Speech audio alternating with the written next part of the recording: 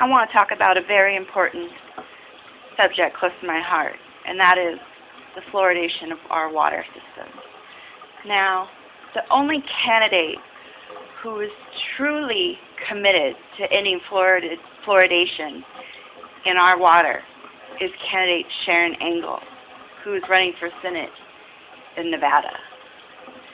And I just want to show everyone on YouTube my own personal way of filtering water from fluoridation.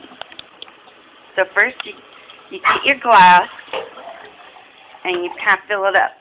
But then you take your American flag and you just set it over. Set it over like that. And then you just let it filter a little bit. Just let the water filter.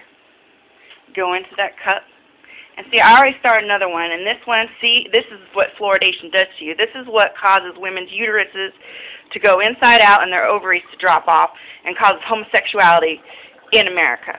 So you take that, you just throw that away afterwards, and then you take it, take it to your refrigerator.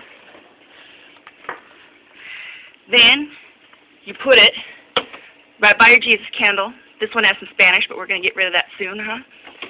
And then you put your refrigerator Bible over it.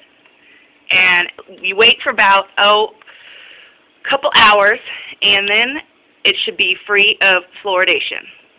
Well, I hope you all enjoyed my my video on how to get rid of uh, water fluoridation.